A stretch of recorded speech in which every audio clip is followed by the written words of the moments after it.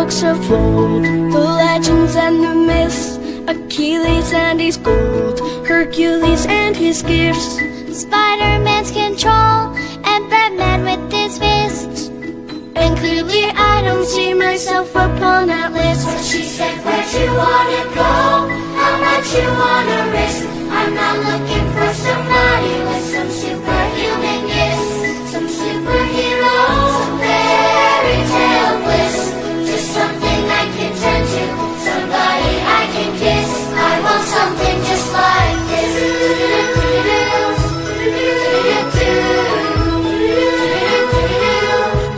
I've been reading books of old, the legends and the myths, the testaments they told, the moon and its eclipse.